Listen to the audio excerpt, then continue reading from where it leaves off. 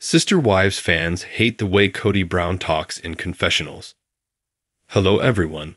Welcome to my channel. I hope everyone is having a wonderful day. Before starting the video, please go ahead and hit the subscribe button and give this video a like up. Family patriarch Kody Brown has always been pretty unpopular with Sister Wives viewers.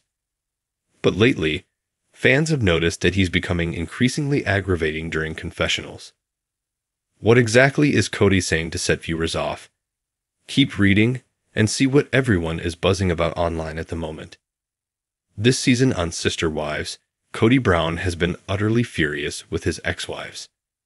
Fans can't believe how poorly he speaks about Meri, even after treating her badly throughout their marriage.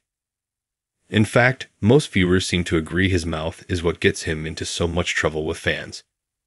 Kody talks to the camera like the audience is five years old. An aggravated Sister Wives fan shared on Reddit. I cringe when he talks. He is so condescending and talks to the cameras like he's talking to a five year old. Just the way he explains things. Like there is a period after word, then he gives it four seconds to sink in before he starts his next thought. I feel so betrayed. After. Things. That. Have. Been. Done. Other Redditors agreed, but many stated they just found Kody Brown annoying overall. Other viewers wrote, Sister Wives fans have had issues with Kody Brown since the show's inception.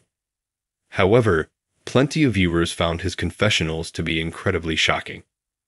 While talking about his crumbling marriages, he said, that doesn't create intimacy, that just creates orgasms.